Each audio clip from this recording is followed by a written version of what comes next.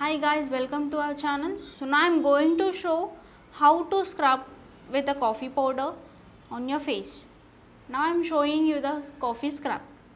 Okay. Now we want for that you just have to do one thing before watching with this this video you have to just subscribe my channel okay and we want the sugar scrub coffee scrub we want some ingredients so for that i will show you that whatever we want that ingredient first of all we want some sugar and we want some coffee powder and some oil okay? And have to take one empty cup and take some sugar.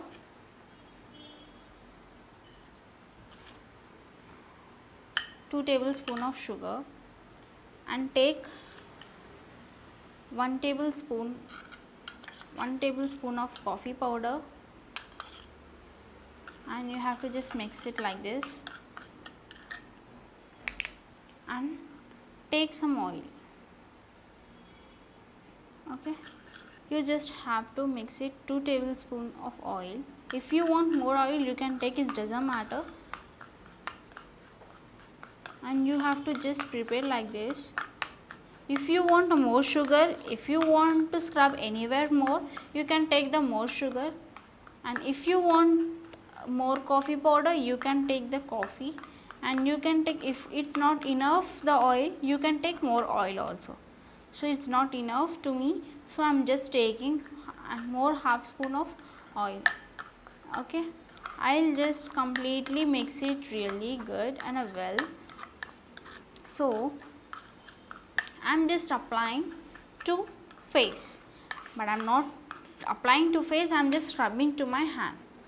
You just have to say take like this and you have to scrub it on your face. Like wherever you have a blackheads and a whiteheads okay you have to just completely scrub like this. You will not get any effects. Apply on this mixture on a face and scrub it gently scrub on your face up to 3 to 4 minutes. Okay? If you want more you can take more and you have to just scrub it up to it melts the sugar. Okay? After scrubbing you have to wait up to 3 to 4 minutes and take wet towel.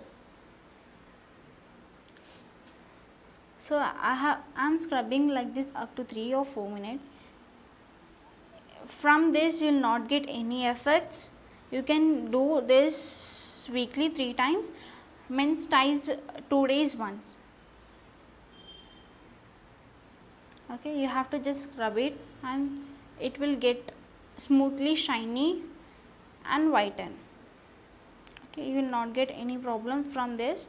You have to just scrub it with the sugar wherever you have the white hairs and the black hairs.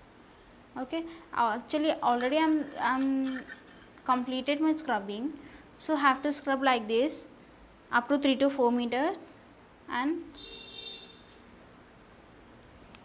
i'm just washing my hands so after scrubbing completely on on my hand means on your face you have to wait up to 3 or 4 minutes and take a wet towel and you have to remove this. Now you can wash your hand and see the difference. See now it's become a soft differently. Try this scrub guys. Keep liking, subscribe. Bye bye.